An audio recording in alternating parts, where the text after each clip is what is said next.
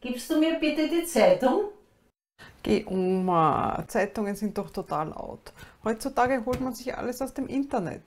Am besten du verwendest ein Tablet. Da findest du alles, was du suchst und das ganz aktuell. Das, was du in der Zeitung liest, ist doch Schnee von gestern. Da schau.